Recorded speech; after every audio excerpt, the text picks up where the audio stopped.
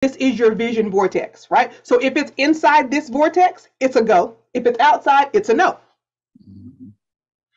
Okay. Right. So it doesn't matter what I do. I've written the vision. I've been so detailed about it. If it's inside here, it doesn't matter what I do. It's going to work for the greater good of the vision.